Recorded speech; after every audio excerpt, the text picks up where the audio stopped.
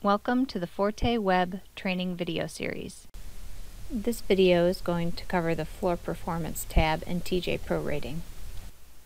Okay, moving along to the next tab, we have Floor Performance.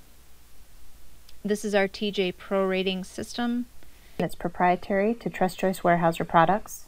And you can think of this as um, an indicator of customer satisfaction that goes beyond just mere code requirements or deflection criteria. It's similar to the Canadian vibration criteria for our customers that are in Canada.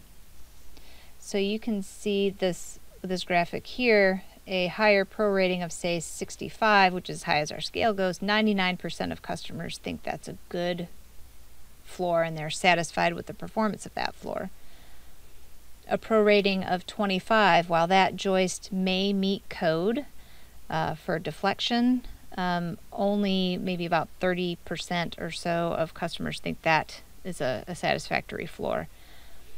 So it's it's a range, and if you say maybe shoot for 45 here in the center, 84% of your customers are going to like that floor. So you can go ahead and set this bar here as you like. You can set it to any pro rating and Forte will not fail any joist that you size because of pro rating. It'll still print out on the member report, um, but it will never quote unquote fail a joist or a member because of pro rating if you check that box. And the things that affect pro rating are uh, decking, so going to a, uh, a diamond type product, which is a regional product, uh, is worth 5 points of pro rating. Going to a 7 8 panel uh, will also give you an increase in performance. So we'll leave that set to Weyerhaeuser Edge Gold.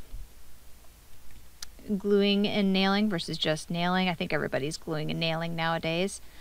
Um, but here are some of the other things that can help dampen the vibration in a floor. So a direct applied ceiling, if you're sizing a second floor or they're finishing the basement with a direct applied ceiling, or maybe it's over a garage. Uh, direct applied ceiling is worth roughly, again, 5 points pro rating, sometimes 4, uh, depends on the calc you're running. But it's enough to make a difference in your customer's perception of that floor. Um, some of the other things, poured flooring, perpendicular partitions, intermediate blocking, or strong back strapping. So uh, go ahead and set those to whatever's appropriate for you and your customer. Uh, and then again, that Save as Defaults button, uh, probably not something you're going to be changing a whole lot, except for maybe the, the direct applied ceiling. So for more information on TJ Pro Rating, uh, again, you can Google it or check us out on the Weyerhaeuser Learning website.